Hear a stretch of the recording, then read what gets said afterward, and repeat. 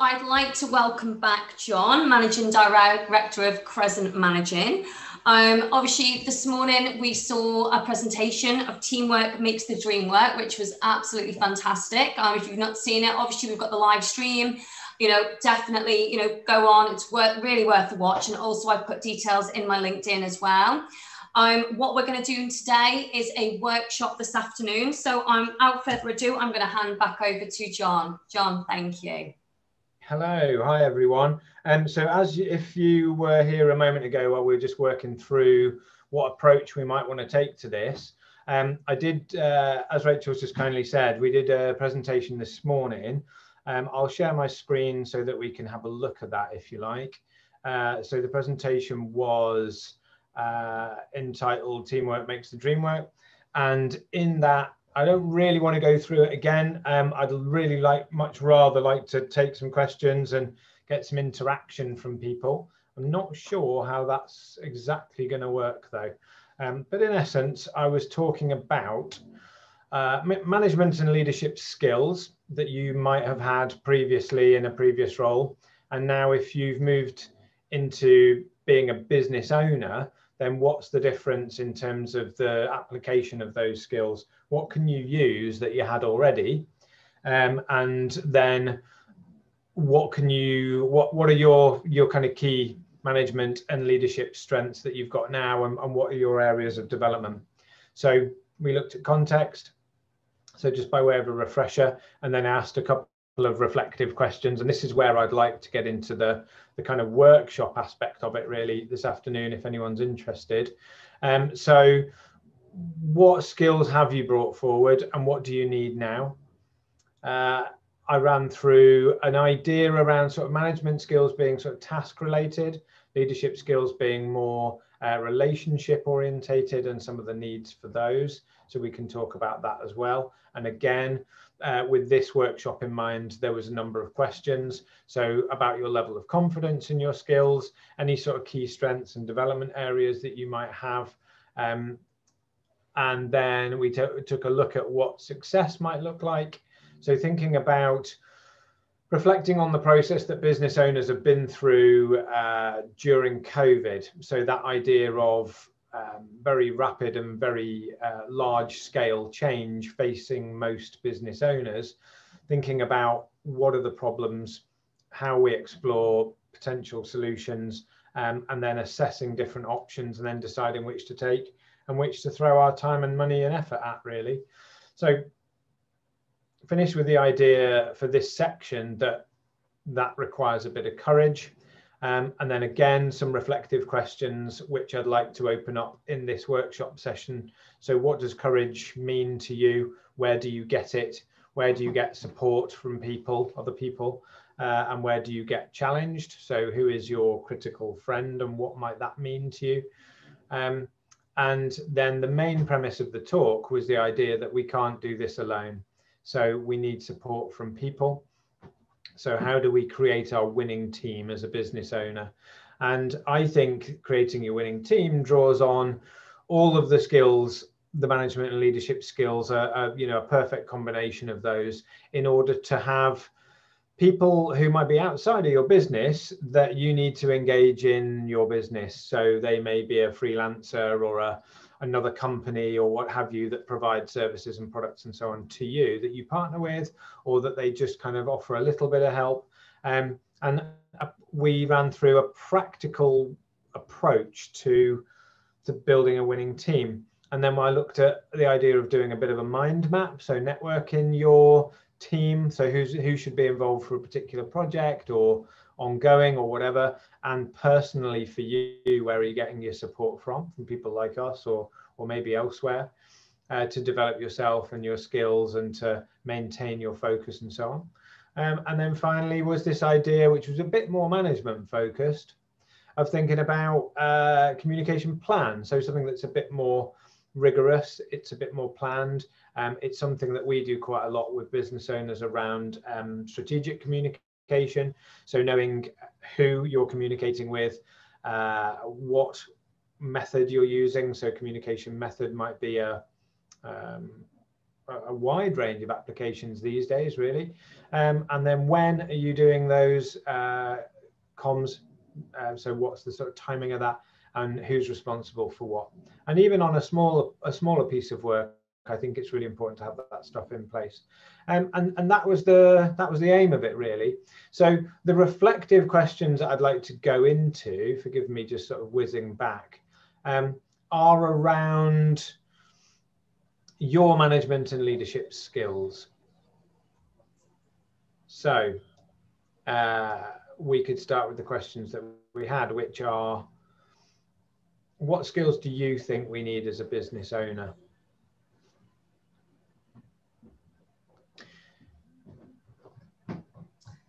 So I think as a business owner, you've got to have resilience. I think that is really important. I think resilience and it's also, I think you've got to give 100%. You know, I think with COVID, I've, I've spoken to so many people who have been, you know, employed in big entities and obviously with redundancies and what have you, they've completely changed their mindset in terms of actually, do you know what? Like I'm at risk, I want to be in control of like my own destiny.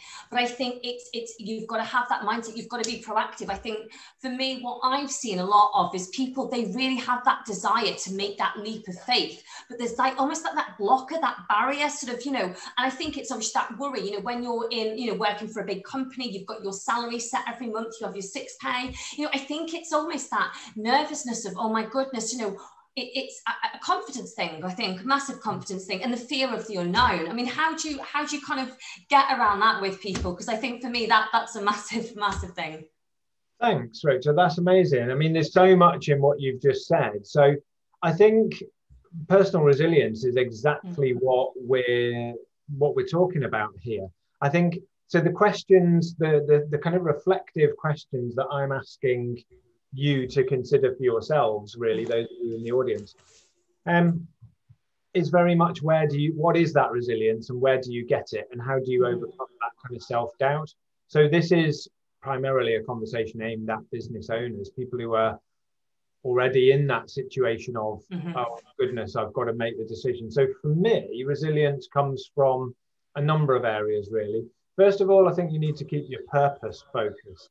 You need to be really really focused on what the purpose is. And if if you connect with that purpose and that's still relevant today then you need to reconnect with that. So let's say for example through covid you run a bakery or a coffee shop or a cafe mm-hmm. like that. And through COVID, all of your customers disappeared. Well, what was the purpose of you doing that? Why did you start running that that cafe, that cafe in the first place? Why did you run that business? And I think reconnecting with that purpose is really, really key. Um, I think the second thing that again I'm sort of getting at here that's a part of resilience for me is your support network. Yeah. So I'm talking about, and the main aim of this talk really is don't go it alone identify all the different people that can help you, different aspects of different people here, there, and everywhere, um, and then ask for that help and, in, and, and invest your time and energy in, in helping others, I guess. But, but make sure that you can map out that development network or that support network for yourself. Um, and then I think the other area for me, and there are more, but the other area, big area for resilience for me is about uh, self awareness and that kind of adaptability of thinking. I think what most people do when we're faced with, like the, like you said, those barriers or the sort of challenges, what people do when they're faced with those is going to be unique to that individual and that situation. You know, do you mm-hmm. do you rise to the challenge, or do you does it freak you out and you feel overwhelmed, or you feel anxious, or you feel you know? And actually, what I'm saying is, in the talk, if we slow that thought process down a little bit and try and be a bit more logical and go, right, okay, let's just breathe a minute. What problem is this? What possible options are there? And how what's that going to cost and is it worth it? And so on. Just just slow it all down. So I think there is purpose, people, and then that sort of mindset of being able to slow things down and mm-hmm have a little bit of confidence in your plan and what what you're doing. And but ultimately you have to make that decision and then you have to ride through that uh, ambiguity that that sort of nervousness really Yeah. John, can I ask something? I, I, yeah. I, don't know whether this relates this. So do you work with many people? So I, I also have a, an awful lot of people who are wanting to take that, that leap of faith, but obviously still need to provide an income for themselves and their family. So for a lot of the people I'm speaking with, they're still maybe working, you know, a, a part-time okay. or a full-time job with yeah. their business on the side. Do you come across many people like that? And how, I, I just, I struggle to kind of like, you know, see, you know, to try and find that balance and that commitment so they can can obviously do the two. You know, is there anything anything you could offer, any support, any guidance of how to actually find that balance with a kind of you know, a, a, almost like that transition from a, a full-time employment to a new business owner when they're juggling the two? Yeah, of course. Yeah, I mean, so I I think the answer is be realistic and be mm-hmm. honest with yourself. So I, I, similar really. I mean, quite a lot of people just uh, who are oftentimes when we're delivering a, delivering a training program into an organization, there's often, you know, some people in an audience there who actually do want to go it alone. So quite often these conversations come up there for me. Um, I think you need to have a really good plan. I, I don't yeah. think you should leave your job if you have not got a business plan that you are really, really uh, super motivated by, but also that you can realistically deliver. So treat it as a project and mm-hmm. work out what it's going to take to do it. So if you think that, if you think about, well, I'm just going to admit some people. Um, if you think about how much time and effort it might take and how much money it might take to set that business up, then I think for people transitioning from employment to being self-employed you need to work out how long that's going to take and roughly where you think the break-even point is going to be. So if i'm going to need to do 10 hours a week so i'm going to keep my full-time job and then i'm going to do 10 hours a week maybe. And that's going to be me developing my products and developing my branding and my website and my messaging and you know and working out who my customers customers are going to be and so on then how many of those 10 hours are you going to need? Because it sounds to me like that's probably going to take you a long time. So, like yeah. any project, it's about balancing the, the money and the time that you have available. So, certainly 16, 17 years ago, when I set up my first business, um, I I worked part time and then I set my business up part time. Mm-hmm. And I just took a big hit in terms of my income. Yeah. So if you can afford to take the hit in your income, then great, then do it. If not, then carry on working full time and just work at it more slowly. Um, I wouldn't leave your job unless you are absolutely, uh, unless you you feel super confident you've got a great plan. And we're happy to help people make those decisions, to be honest, and we can do that quite quickly. It's quite nice. When I said earlier in the presentation this morning, it's useful to have a critical friend um, yeah. I mean, I mean that's somebody who's going to challenge you and say, "Is that really going to work?" Or "How many of those are you going to sell?" Or an example for me was fairly recently, before COVID, so probably a couple of years ago now, actually, but feels recent. They wanted to set up a cupcake business. They wanted to sell cupcakes, and I said, and they were working in insurance at the moment, making quite good money. Um, and so we ran through, like I've just described, what a plan might be for what a cupcake business might look like. And it was two people who had this dream of leaving their job and doing that.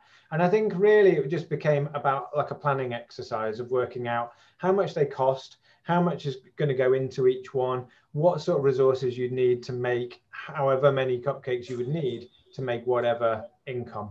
So it's a basic sort of, you know, cost and time and, and planning exercise. So I think that's my answer to that really is do loads of time and effort on getting a good plan. Don't write a 20 page business plan, write like a one or two page business plan, but do know that it's it's very likely to work and get a critical friend to to shoot as many holes in it as they can. It will give it more rigor then, and then you'll feel confident to get going.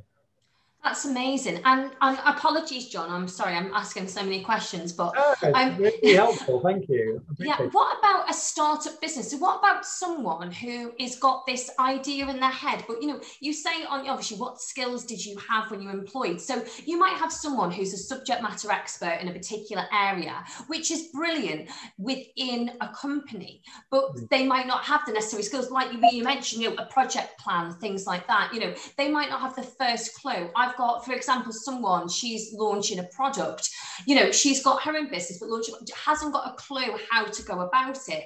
You know, do you, are you able to assist with that at all? Any guidance or, you know, anything like that for, for someone who is literally, I've got this idea, I've got this business that I want to do, you know, how do I get it going? What skills, what attributes do I need? Is that something that you are able to, to take and assist with at all? Yeah, definitely. Yeah, absolutely. So I think management and leadership skills are not mm-hmm. really, you know, the, for the for the example that you've given. Mm-hmm. Um, I don't think you need to know a huge amount more than you know already, but you might need to know a bit more. So we offer we offer a lot of qualifications for people who are working through developing their career in a particular direction. Mm-hmm. Um, but equally, we offer short courses and just a little bit of help, you know, an hour or two here and there I think I could probably, going with the example, I mm-hmm. reckon. I could probably give that individual, any person, everything they need to know about project management for now, probably in a couple of hours. You know, it doesn't need to be long winded and it doesn't yeah. need to be difficult. I think sometimes you could go and sit on three or four different courses. I've done it myself, I do it all the time. I go on this course or that course and I get something from it but it's not focused on me and what my gaps are and what I need and what product I want to take to market and so on. So I think sometimes it can help just to sort of get a, a focused version of it.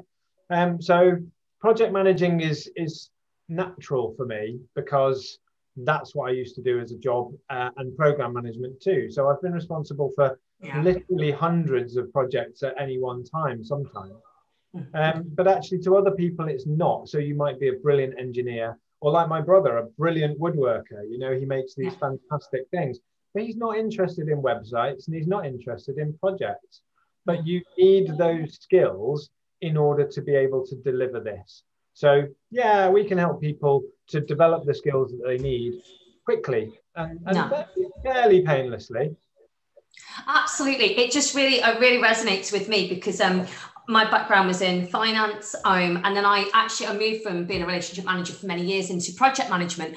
And honestly it was like a foreign language to me. You know things like project plans and you know project initiation documents things like that. So what i'm thinking of for someone who's never been in that world as you quite rightly said it can be really you know eh, eh, overwhelming. And mm. you know someone you know, someone says to you right you need a business plan you need a project plan. It's not they will sit there and think what, what is that? So it's great that you've actually got this simplification of what yeah. that actually is because i think you know we're, we're gosh it can be so overcomplicated and such a complex task. And in actual fact you know as you say one you know by just doing a course and knowing exactly what your steps are it's actually very very straightforward. It's just kind of yeah. pinning down to what those priorities are what those needs and, and getting order in, in place.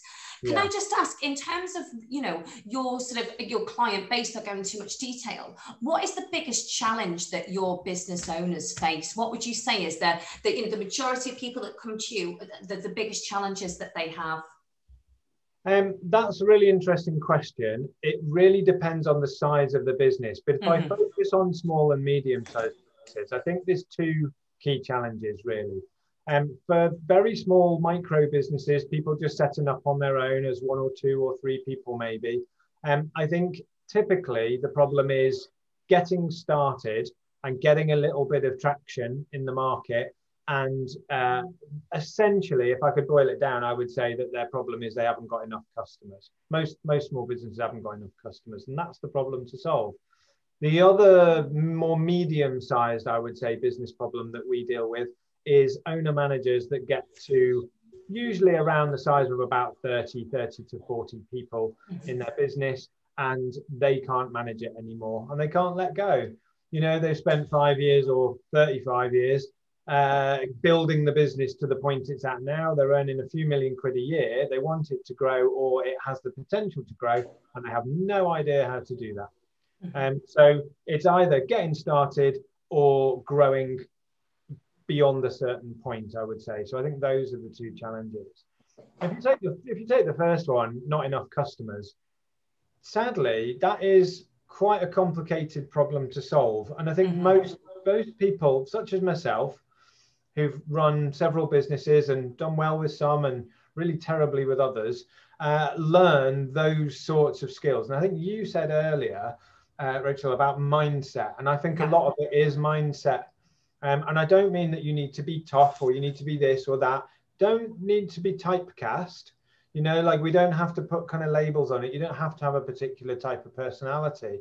You just need to know for you what is going to get you through that sort of, you know, that stage. And I'm suggesting that we can take like a skills based approach to it. We don't need to overthink it and we can just make it a bit more logical and a bit more sort of doable really. It doesn't we can i think again as you suggest you alluded to we can demystify it a bit. Mm-hmm. there's nothing scary about projects. There's nothing scary about finance. There's nothing scary about marketing. But if you don't know anything about any of them they do look pretty big and pretty yeah. like what on earth is going on?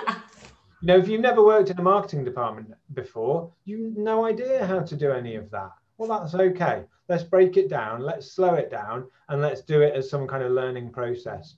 So similar with, yeah, so uh, most of our programs cover, uh, no, our programs cover most of those kind of key areas really for small and medium sized businesses. Mm-hmm. But again, it's whatever individuals want really. Absolutely. And I think also with COVID as well, obviously the way we do business, it's it's it's completely changed. You know, as I say, people have learned, ha, you know, have to adapt. They have to to, to be able to move forward. Yeah. Have you noticed with your client base, you know, because it's really bizarre, the people I've spoken to thinking that you know for a lot of businesses and i'm talking your big your big entities you know it's it's been quite a hit for them. But in mm. terms of small business owners that do most of their stuff you know through websites and online actually it's been a real positive because people are like you know gosh we've got zoom you know we've got facetime we've got microsoft teams. You know i can reach out to anyone in the world and it's opened up so many opportunities. Have you found the same you know with covid? Has it had a hit on people? You know have people struggled to change their mindset? Um, that's a really interesting question. I would say I'm going to maybe divide people into 2 mm-hmm. And I think certainly just thinking about some people that I know and some people that I've worked with for many years. And I think there's a bit of a sort of 50 50 split going on. I think mm-hmm. there's the people who've become overwhelmed by what you've just described. Um, it's too much. They haven't been able to adapt or they've adapted more slowly. Um, and I still know some people who are in that boat. You know, I, I, don't think they're going to go back to what they were doing before. They've mm-hmm. they've kind of done with it. Um, and then there are other people who, in actual fact, have surprised themselves and really embraced it and thought, okay, so we were a cafe and now we're not a cafe because the door's locked shut.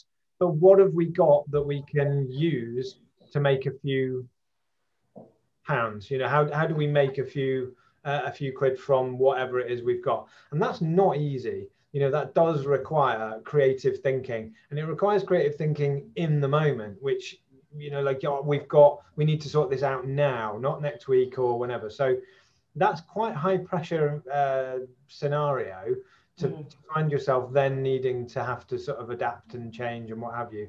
So I'm going to say there's the people who did and the people who didn't.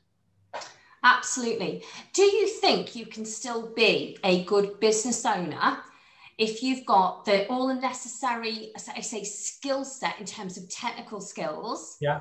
But with that, so the, what I'm trying to say is, so there might be like what you've just said. Then you're very much sort of saying that you know you, there needs to be a solution. Mm. But some we not everyone can see that solution. Can you still be a good business owner if you have got the skill set but maybe can't find those solutions, or are you going to sink?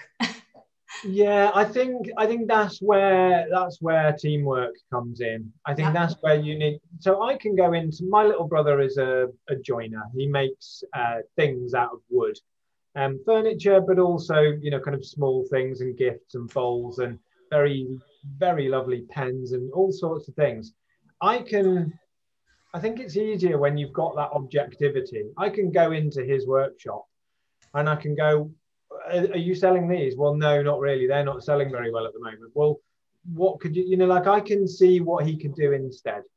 And because we've got that relationship, I can, you know, we can have that conversation. And I could say, well, why don't you do this? Or why don't you do that? Or what about this? Or I noticed that people are buying this, or I saw this in a magazine.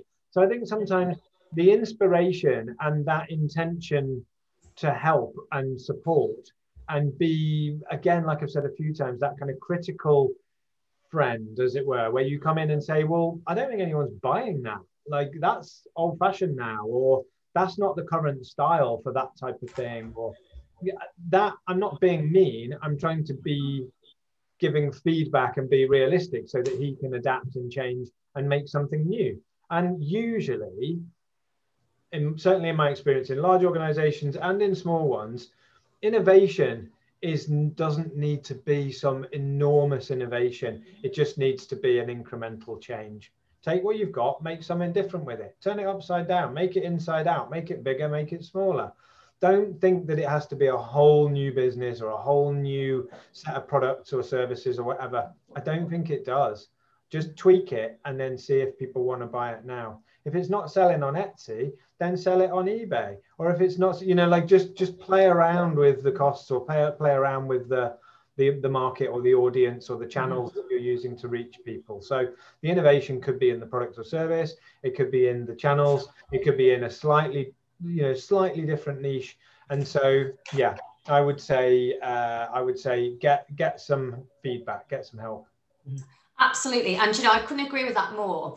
You know, I'd like to think I'm a really practical, factual person, but sometimes when you're so involved in something, yeah, you yeah. almost get this tunnel vision, don't you? And yeah, there could be a really simple solution, but because you're almost so invested and you're literally focusing on your any and, and even over analyzing something, it can just take someone, literally an outsider, just someone to work alongside you, whether they're your mentor, your trainer, your coach, whatever they are, a friend, that mm. support mm. to just say, oh, well, actually, have you thought, thought about that? And I think, yeah, you're absolutely right. Having that support around you, I think, is absolutely key. And it's about bouncing ideas off, again, you know, off someone and saying, "You, what do you think about this? You know, if I was to suggest this to you, you know, would you be of interest? So I think, no, absolutely right. I think teamwork is very, very important. Yeah. And I think you just, based on what you said, I think you just need to try it as well. So the couple of things in what you said, well, loads mm-hmm. actually.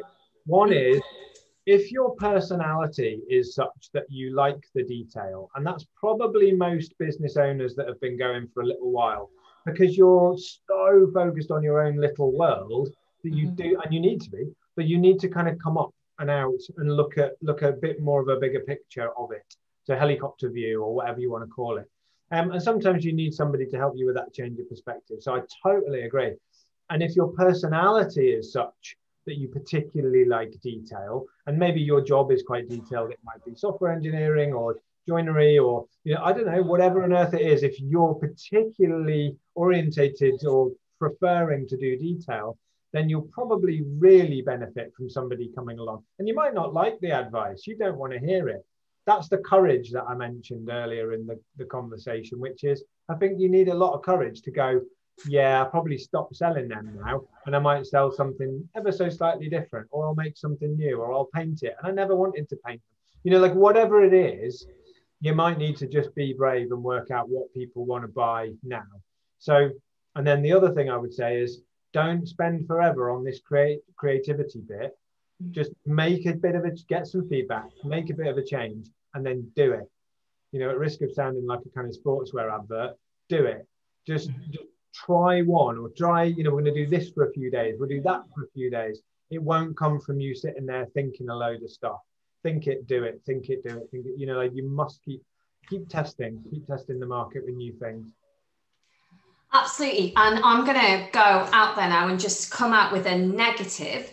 How do you help people deal with setback because let's be honest there's going to be so much setback that people are going to you know it would be silly if we lied and said you know what? My business is going to be great and it's going to be rosy from start to finish. You know yeah. people are going to have to deal with setback. Obviously we've mentioned resilience but what support do you give people? How do you kind of turn that around and and you know literally uh, uh, assist people and uh, you know to deal with those that those negativity those pushbacks? Because they're, they're going to happen aren't they? They're going to happen. Yeah sure. So if if I think my take on this is if you set the plan, if it's mm-hmm. your plan and your intention to succeed in in selling whatever product or service, and you're faced with setbacks, then I think to some degree you create the setbacks. We need to try and take as much ownership as we can reasonably. I can't control a pandemic. You know, none of us mm. saw that coming. But actually, we can control our response to it. So I think again, I would say we need to slow down the thinking, and and again with the courage, which is maybe you do need to stop. You know, maybe it's it's it's an insurmountable barrier. Maybe it's too much. And mm-hmm. I think people have to think about. I'm a great advocate of people uh, like of, of, sort of being holistic with your approach to things. A lot of other business people really are not. They'll think that's silly. But I think if it's likely to cost you your health or your relationships or yeah. you know or whatever, then then I think actually maybe it's better that we do stop doing that and we go and mm-hmm. get a job. A friend of mine is a an actor. He's a very good actor and he's been in lots of things. Um, and I don't know that many people know that he works in Sainsbury's, a supermarket, on night shift. All the time he's not being flown around the world doing acting. And that is unbelievable. That, that, for me really, really humbles me. It really grounds me. And he doesn't know how inspirational he is. I've told him. But in actual fact, he said, Look, I'm not proud and I don't mind. And, and this is what I do when I'm just being the normal me. Yeah. And then I go and earn lots of money occasionally, maybe once or twice a year, maybe 10 times a year. He goes and earns money. But in the meantime, he can't bear to be doing nothing. Yeah. So I think sometimes we need to just find those inspirational people, and they won't be, you can choose, you know, iconic people if you like but maybe it's more about look closer to home and, and just look for smaller sources of inspiration. So barriers, I would say, look after yourself, think holistically yep. if that resonates. Um, and then again, I'm going to say the same thing, which is to what degree have you got control over it? I mm-hmm. think if you and I can control whatever a bit of it we can control, like what can you do differently or what can I do today? What's the smallest thing that will make the biggest amount of difference to this particular problem and just work through it steadily. We all get setbacks. And I know that people, colleagues of mine, colleagues of mine who are speaking at your event, mm-hmm. um, will say that actually it's really important to be able to take as much control as possible and ownership. Um, so my phrase with that is dogged pursuit and knowing when to stop. Absolutely, very wise words, very wise words.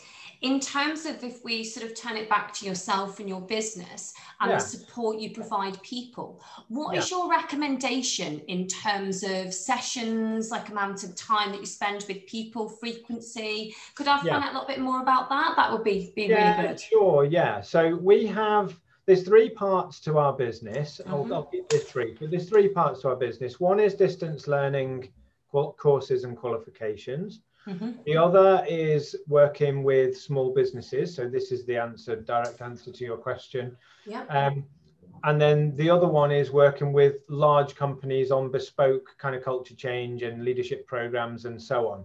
So we do the very big programs. We do very precise kind of specific stuff for business owners and also for healthcare weirdly. Um, well not weirdly but anyway another story. Um, and then the distance learning. So they're the kind of key areas of our business. So to answer your question directly if you've got a business that there's a few of you that need a leadership program then we can spend a little bit of time and work out how you might want to learn that. And that's at the bigger end of things for the people in the middle, the small businesses and the micro businesses and the, I guess some medium sized businesses, then we tailor our support. So we have courses that you might find useful. We're trying to set our course, our courses are positioned differently to what, certainly in the UK, you can quite often get for free from the local government. So local enterprise partnerships and so on. Our stuff's a bit more expensive than that, but it'll be a lot more focused and it'll be a lot more effective. I don't wish to badmouth anyone else's training because mm-hmm. they're they're really useful courses, but they're kind of introductory, whereas ours is much more focused on you and what you're going to do.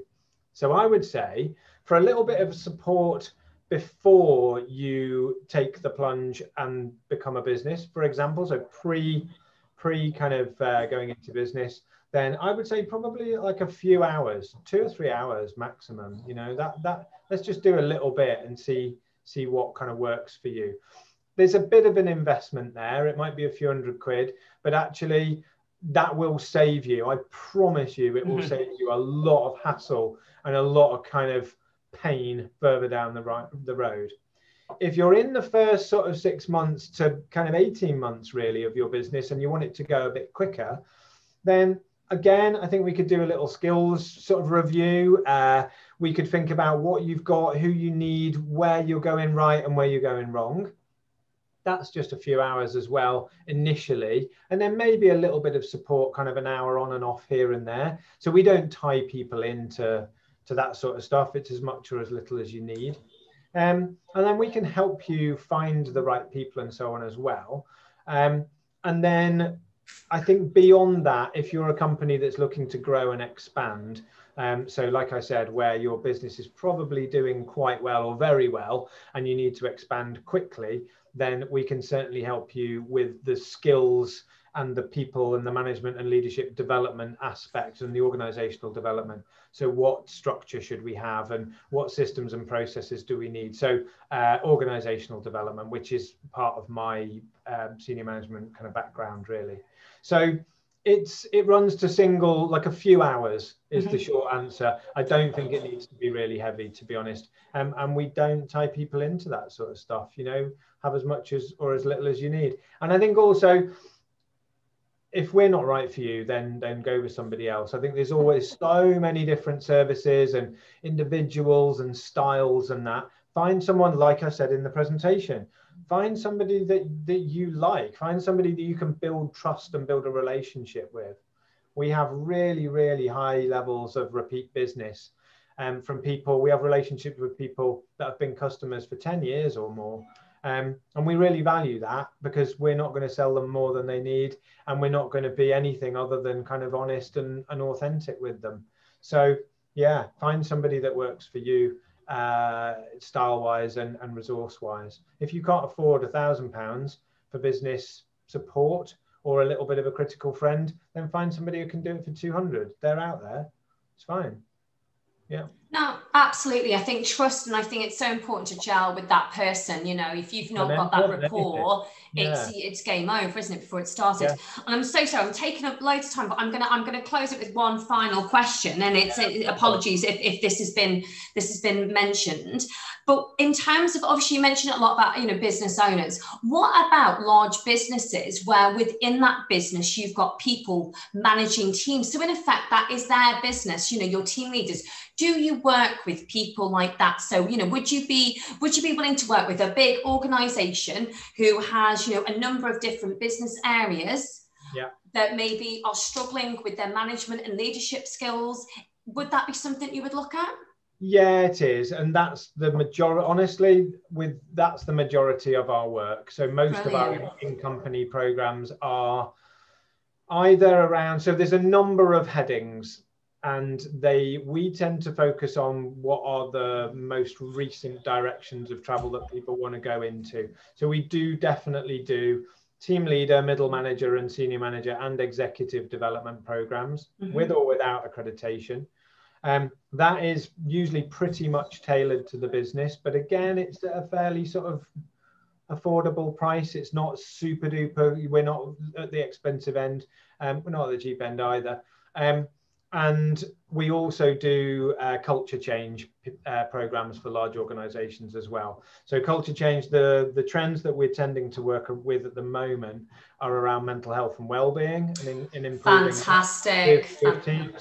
Um, we're doing diversity and inclusion is a really yeah. big deal and we're doing a lot of work and again that's with or without qualifications so and i'm i'm a pragmatist i want to know that your people are going to be like genuinely are going to feel more included at work or they're going to feel well. Because well people and included people are also more productive you know they yeah. want to be there. Absolutely. that for me for us is not just about training. That has to be about like a ground up you know what what skills and tools and techniques and what thinking do those team members need. So it's not just a kind of sheep dip training course we're not interested in that. I know we're, i know we're a training company but when it comes to culture change culture change is culture change. And and that's what i've done as a as a profession for many many years. So mental health diversity and inclusion um, also sustainability leadership, we, we've got a new program on that, which is increasingly popular. Uh, and we also help people around their customer experience and customer service as well to trying to accelerate that. And then the main, that's all the kind of fun stuff, but the main stuff we do is around improving performance. So uh, yeah, just developing people, improving performance, um, at, at, a team level for team leaders, middle managers, you name it really. And we've worked with enormous companies, you know, global, proper yeah. global, big global companies, and we've worked with smaller ones too. So we've worked with in manufacturing, in software development, in uh, oof, you name it, really, healthcare a lot, mm-hmm. local government, regional government stuff, and um, you name it, like pretty much, pretty much all the the sectors now. No, that's absolutely amazing. And certainly for us with Founders on Web, obviously we've got a number of companies that um, Santosh runs as well, we would be very, very interested. Um, so I'll be definitely connecting with you afterwards. And I just, I have to say that the health and well-being um, side as well, absolutely brilliant to hear because, you know, you've hit the nail on the head. You know, we have gone through, we are going through pandemic people you know you know you forget there's people who literally are single people who literally live on their own, maybe in a one bedroom flat, the mm. repercussion of them not being in an office with yeah. people, having that interaction yeah. is huge. Yeah. And you know what? People forget that actually in these big organizations, if you want to drive performance, you know, if someone's mental health and someone's motivation is not there, you have lost that right from the, the offset. So, in actual fact, health and well-being is probably a primary and key factor into actually driving and increasing performance. And I think for me, if you know, for I'm very lucky to have worked for the people that I do. You know, they are, you know, very, very family orientated. We are like a community. And you know, for me, you know, there's none of this, you know, God, I used to panic if I phoned in sick and think, oh my God, what are the repercussions? You know, there's none of that you know health comes first well-being comes first if you can't do something there's always someone to step in because their view is is do you know what health is first. And you know what? If you are healthy you've got healthy mindset you know you're you're in a good place mentally you are going to be and perform well. And not only that it's almost the reverse psychology. You know for me if someone gives me 100% i'll give back 200 yeah. Yeah. And i think thank you for that. And I, I I think it needs to be not tokenistic. I think, and I'm not going to get into the detail of it now. I'm mm. sure, you know, I don't want to take up too much too much of people's time. But with, I, I completely agree with what you've said. I feel like we've barely started. I think yeah. businesses large and small are really going to need to refocus on this. And so we like to focus on the modern trends in management and leadership, which are mental health and well-being and inclusive, inclusive leadership and sustainability. You know, they're all the key things that are going to keep us all quite focused for quite a number of years to come. But mental health at the moment, I, have a, a, clinical medical background myself. And so I know a lot of people, and, and we've designed from the ground up our mental health and well-being stuff, resources for teams, and you know things that we think can make a real difference. But we've designed them with people, not just kind of sat in a room on our own. But we've co-produced yeah. to make sure that it's right and I think the difference, just a really quick key point with mental yeah. health and well-being at work, the difference is if I've got if I'm physically unwell, I'll probably take the time off. You know, I'll go, I'll be off sick, I break my leg or something terrible, then I have to sit on the sofa for six weeks or something. With mental health stuff, you don't. You're in work probably. You might be better off in work than not in work. But that comes then with some sense that we need to understand each other better and we need to understand how to support each other rather than you know causing conflict or whatever. How can we how can we be in work? You know it's not always about taking time off sick as it were because you might not be sick in, in that sort of sense. Absolutely. so, so there is there's you've got to get into the detail of it a little bit more and we have and i'm super passionate about it um, and they are modern trends in management that that really motivate us and that's what our purpose for for kind of doing what we do is really is to make a positive difference to people Oh, do you know, it's so uh, uh, that's absolutely amazing hearing that because you know one of my things that I I actually love to hear from anyone is um, people who like to make a difference. I think that that's you know we need like that meaning you know something you know like to make a difference is is absolutely everything and you know I think you know even if I look at sales for me, you know, when I was in a sales role, it wasn't about the amount of commission I earned. It my my day would be more important. If someone just said, "Thank you so much, you've really helped me today," that would be absolutely everything for me. That would be everything. And I think, you know, as humans, and especially what we're going through at the moment, to have that that connection to literally to know that you're making a difference and helping someone, I think you you that's priceless, absolutely priceless. And sometimes, like you've just said, it's the smallest things. Absolutely. You know, it's just that little kind of you're right. You know, like just just just checking in with somebody. Yeah. I don't necessarily need to know the life story or anything like that, but actually just a bit of empathy in the right place yeah. can make a, a huge positive difference to somebody's day. And I think sometimes the, it's the subtler, simpler things that actually can make the difference. And by the way, none of that is at the expense of the performance of the business. I still want the business to be totally successful. Otherwise, what's the point in doing it? So, you know, it's two sides of the same coin. We want to be productive and we want to be well. Absolutely. Well, John, it's been an absolute pleasure. I've thoroughly enjoyed this session, and I actually I can't thank you enough. Um, the information, um, it's brilliant. As I say, I'll be in touch, um, of course, after this call anyway, um, and we'll definitely schedule a meeting next week. But um, for anyone who is watching, um, please do get in touch. Um, it just absolutely health, well-being, the coach, the training, the guidance that that John can give you, I, I, think is just so beneficial. And I think especially with everything that's going on in the world at the moment, I think you, we all need a John in our lives. We definitely do. Ah. thank you, and thank you so much for taking the time, and thank you so much for your your interesting questions. It's been an absolute pleasure. Oh, John, thank you so much. And no, thank you. Thank you. And uh, enjoy the rest of your day. And we'll definitely be in touch soon. Likewise. Thank you. And thanks to all for watching. Thank